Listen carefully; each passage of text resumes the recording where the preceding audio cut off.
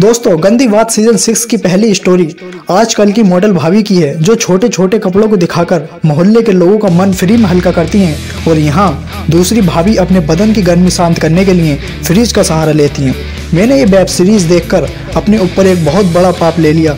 शेर जंगल में भूखे मर रहे हैं। बेचारे शेर भी कह रहे होंगे कि ऐसी भाभी काश हमारे जंगल में घूमने आए और इन आजकल की मॉडल भाभीियों को देख जो फ्रीज का सहारा ले रही हैं। दोस्तों गंदी बात सिक्स की पहली स्टोरी ऐसे मोड़ पर खत्म होती है, जहाँ मॉडल भाभी होली रंगों से कम, अपने से ज़्यादा खेल रही हैं। दोस्तों गंदी बात सीज़न सिक्स की स्टोरी का नाम एक्सपेरिमेंट तो ऐसे रखा गया है, जैसे इसको कोई मिसाल लॉन्च कर किसी प्रकार का एक्सपेरिमेंट कर रहा हो। चलो छोड़ो, हमें नाम से क्या करना?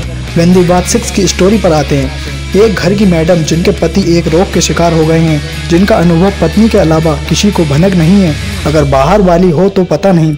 मैडम पति के उस रोग को दूर करने के तमाम ऐसे एक्सपेरिमेंट करती हैं, जैसे अंधेरी रात में कोई काला जादू टोना कर रही हो।